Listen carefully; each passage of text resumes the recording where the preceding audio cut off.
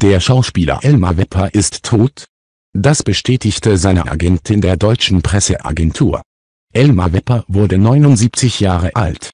Der am 16. April 1945 in Augsburg geborene und in München aufgewachsene Künstler gehörte zu den bekanntesten und populärsten Darstellern des deutschen Fernsehens.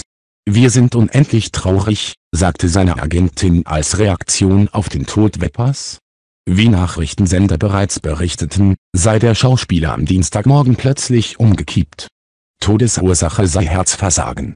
Elmar Wepper wurde am 16. 4,1944 in Augsburg geboren.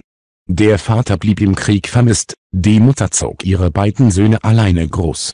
Mit 14 bekam der erste kleine Rollen, der große Bruder Fritz brachte ihn zur Schauspielerei. Hin und wieder drehten die Brüder auch gemeinsam, etwa in der Komödie Drei unter einer Decke.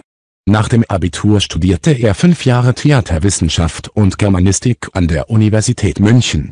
Daneben synchronisierte Wepper weiter und lieh seine Stimme im Laufe seiner Karriere unter anderem Mel Gibson, Ryan O'Neal und Dudley Moore, Elmar Wepper wurde unter anderem mit Deutschen Filmpreis 2008 als bester Hauptdarsteller für seine Verkörperung in Doris Derrys Film Kirschblüten, Hanami ausgezeichnet 2019 erhielten die Wepper-Brüder den Bayerischen Filmpreis für ihr Lebenswerk. Damals sagte er, natürlich ist es mir klar, und das spüre ich ja auch, dass jetzt irgendwo hier die letzte Kurve kommt, und dann geht's noch a Stück R geradeaus und dann ist irgendwann für jeden das Zielband erreicht.